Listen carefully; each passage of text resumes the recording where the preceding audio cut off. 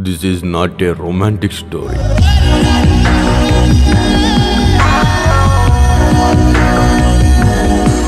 Neither action.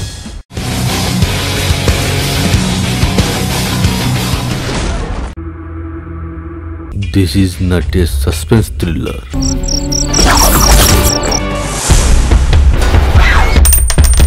Nor horror.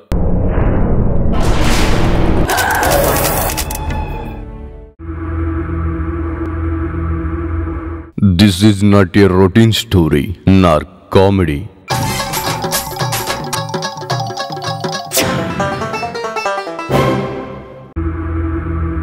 This is all in one packed different story.